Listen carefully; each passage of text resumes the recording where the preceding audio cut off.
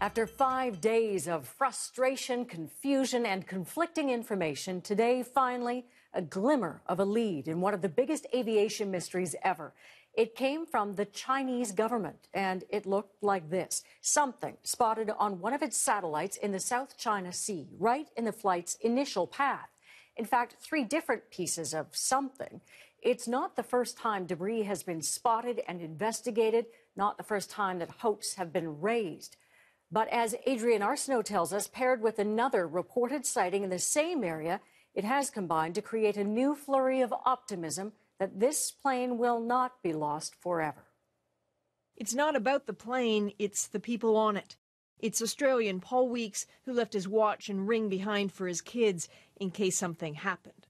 It's the Burrows, a couple celebrating their retirement, and their friends, Bob and Kathy Lawton. She was losing her eyesight, her husband wanted her to have one last beautiful vacation before she could see no more. With all the confusion about the fate of the passengers, is it any wonder families literally threw water bottles at Malaysian officials today? Almost six days in, instead of eliminating locations, possibilities only grew. That initial search area along MH370's original flight path doubled yesterday, then widened again today, expanding the search field and the countries involved. Tips have been vague until a report from an oil rig right there, the Songa Mercur southeast of Vietnam. A worker emailed his boss with a detailed report of seeing something burning in the sky. He gave longitude and latitude coordinates as well as wind direction and compass readings. Curiously, what he saw is consistent with the plane's original flight path, a lead that earned even more credibility when this emerged.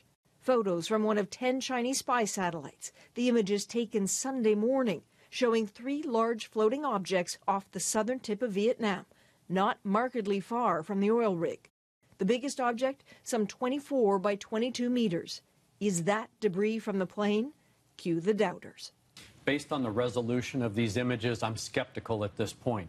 Normally, if you have pieces of aircraft or possibly pieces of aircraft this large, you would expect to see a large debris field, seat cushions, seats.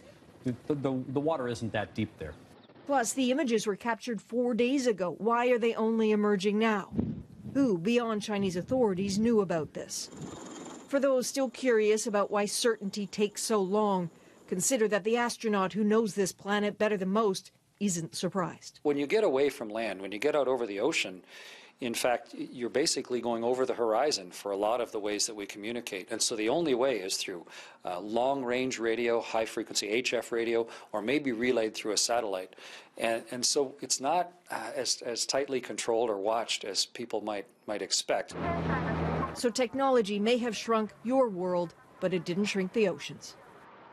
And Adrian joins us now. It seems, for the moment at least, this Chinese satellite imagery mm-hmm. is the best lead there is.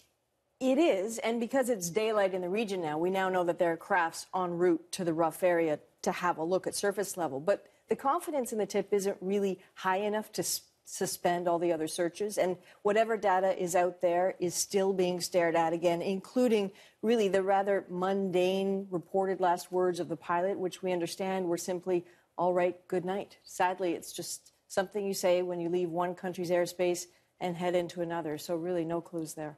All right, Adrian, thanks for joining us on this story again tonight. The missing Malaysia Airlines jet is unprecedented because of its size and the number of people who were on board. But other aircraft have simply disappeared previously, never to be found. In 1962, Flying Tiger Line Flight 739 vanished somewhere between Guam and Manila. 93 U.S. servicemen were on board, along with three Vietnamese soldiers and a crew of 11. The U.S. military searched an area of about 520,000 square kilometers for eight days. And in 2003, a stolen Boeing 727 took off from an airport in Angola and was never heard from again. The CIA and FBI were part of a worldwide search for that aircraft.